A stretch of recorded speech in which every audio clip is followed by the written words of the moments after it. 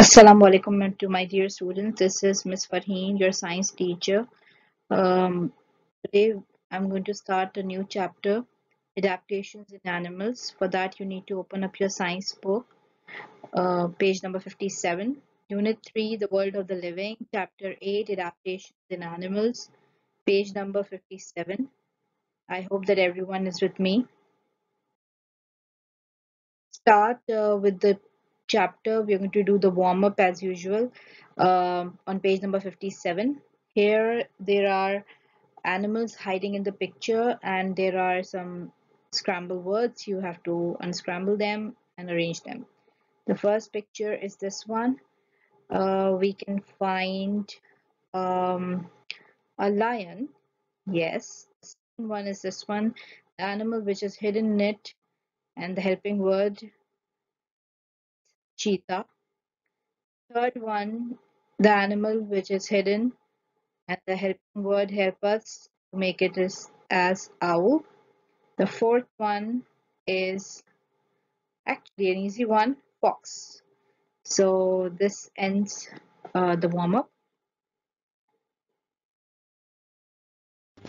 Okay, so the name of the chapter is Adaptations in Animals as we have discussed this earlier also in the previous chapter adaptations in plants that adaptation is a natural process through which uh, plants adjust to their surrounding. The same way adaptation is a natural process through which animals adjust to their surrounding. The process which enables animals to adjust to their surrounding in order to ensure survival it means having certain body parts or behaviors. These body parts and behaviors help them to adapt to the environment. So in this chapter, we're going to discuss three major categories, adaptations to habitat, adaptations for food, and adapting to be safe. First, we're going to discuss about adaptations to habitat. Now in habitat, this is important to understand that what really habitat. Habitat is a place where an animal lives. Animals are found all over the world. Some animals live in hot places and some live in cold places. Some live in high mountains, some in the deep oceans. So the natural surrounding where an animal lives is called its habitat. For example, uh, camel lives uh, in a desert. So we say that the habitat of a camel is a desert. Okay, so this we have discussed uh, in adaptation in plants also that um, we as human beings also adapt to the environment. So think about the way you dress in the winter. We do not dress the same as summers. Uh, we do not wear shorts and bathing suit when it's snowing outside. We wear warm clothes and maybe even a hat and mittens to protect ourselves from the weather. So even if we change our house the human beings we take time we adapt to the environment the same way the plants and the animals also do and it takes many years for animals to adapt themselves to their surrounding. Have you ever wondered how animals are able to survive in the wild? Animals have certain adaptations that help them to survive and these adaptations can be the change in their body parts or their behaviors which help them to survive in the environment. Okay, so starting with the the adaptations to habitat, uh, depending upon whether an animal lives on land, water or air, it possesses various features which enable it to survive on, in its own habitat. So first we are going to discuss about terrestrial animals. Um, we have done terrestrial plants, the plants that live on land. The same way terrestrial animals are those animals that live on land. There are special features uh, that they have uh, like they breathe through lungs. Lion, tigers, horses, dogs, cats. They are uh, some of the terrestrial animals and their body is suited to live on land. Accordingly, they show different adaptive features. So they breathe through lungs. Similarly, there are insects also on the land and they the insects they um, do not have lungs. They breathe with the help of air holes that are known as spiracles present on their body surfaces. As you can see in the picture that uh, the terrestrial animals mammals are having the lungs and uh, the insects are having spiracles. Now in uh, terrestrial animals we'll go step by step. First we are going to discuss about animals in plains. So most animals which live on land on hard land surface like forests and grasslands have strong legs to run fast like lions uh, they have strong legs to run fast and um, there are two purposes for that. Uh, these uh, strong legs help them to catch their prey and they help them to run away from their enemies. So there are two purposes for that.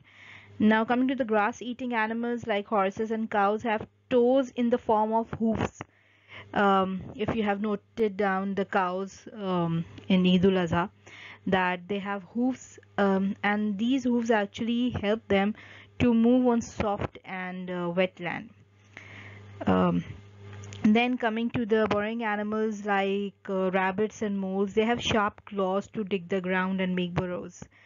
Uh, snakes the reptiles fam from the reptile family snakes do not do not have uh, legs. Um, uh, they live in narrow holes in ant hills trees or holes made by other animals and they move by pushing against the ground with their tough scales. Can you see the scales on in the picture on their body? So they actually this uh, these scales they move these uh, scales against the ground and they move with the help of that so next is animals in mountains. Um, animals like mountain goats and yaks uh, living in the cold conditions of high mountains have a thick thick coat of hair to protect themselves against the severe cold as you can see in the picture. Okay because mostly in mountains uh, it's really cold over there so they actually have these kind of uh, adaptation. Uh, then mountain goats are sure-footed um, uh, they so that they can run up the vertical rocks as you can see in the picture that there is a vertical rock and they can sit uh, they were sitting on the narrow ledges so these sure-footed actually help them to um, uh, survive over there to uh, help them to uh, move on those places.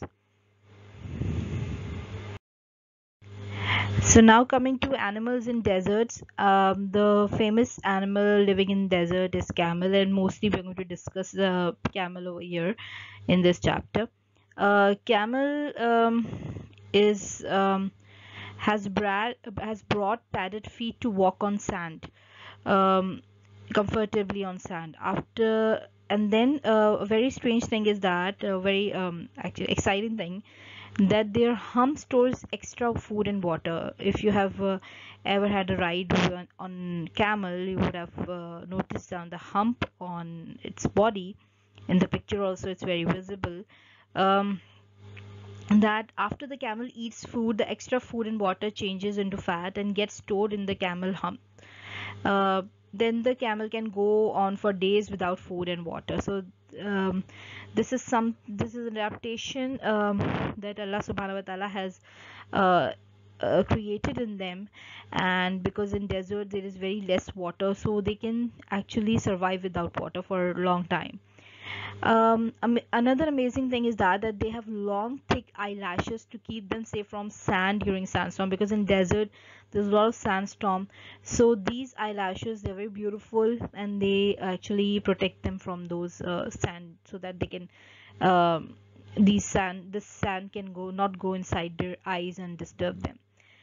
Even they have uh, they can even close their nose during sandstorm isn't it amazing? Um, it's really good um, really exciting that they can close their nose during sandstorm estivation. So estivation is something um, that there are some animals that do not like summers uh, like uh, most of us do not like summers because of the heat of the sun and the sweating. So to beat the daytime heat many desert animals such as desert rats come out in search of food only during the night time. And some animals stay inside their holes during the hot summer months without eating any food. So they go for a long period of summer sleep. And this um, during the summer sleep um, they are inactive. They do not uh, they just sleep all day all the months.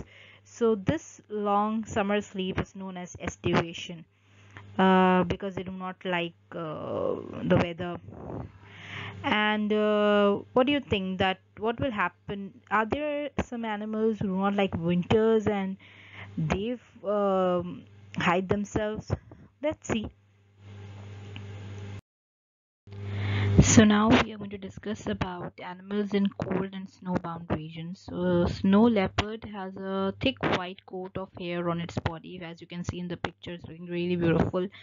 Uh, similarly polar bear and polar fox have thick white fur on their body and the fur not only protects them from the severe cold but the white color also makes them less visible against the white background. They actually blend to the environment.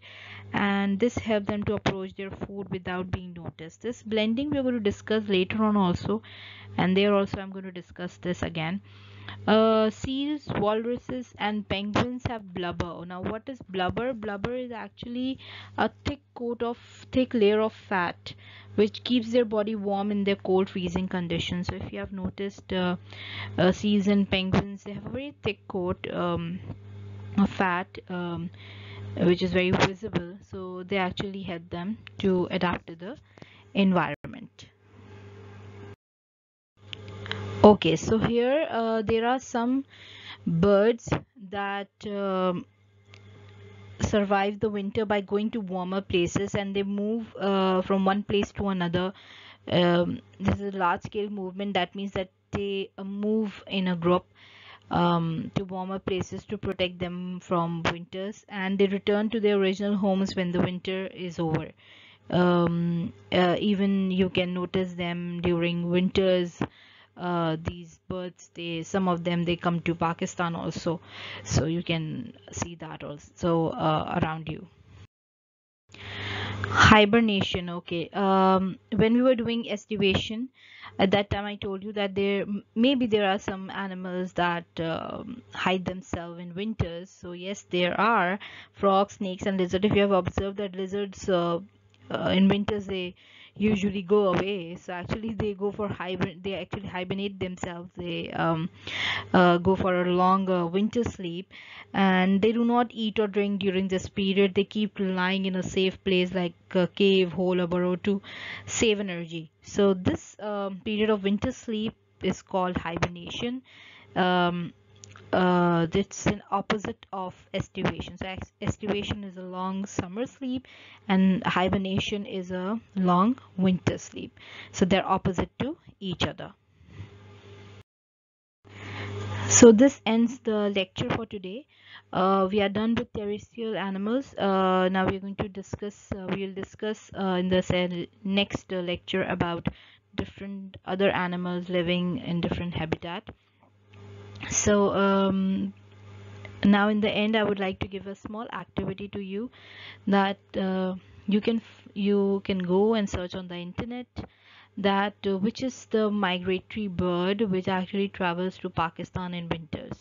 So there is a very special kind of a bird that you can find out and um, the answer will be given in the next uh, lecture. So take care and Allah Hafiz for today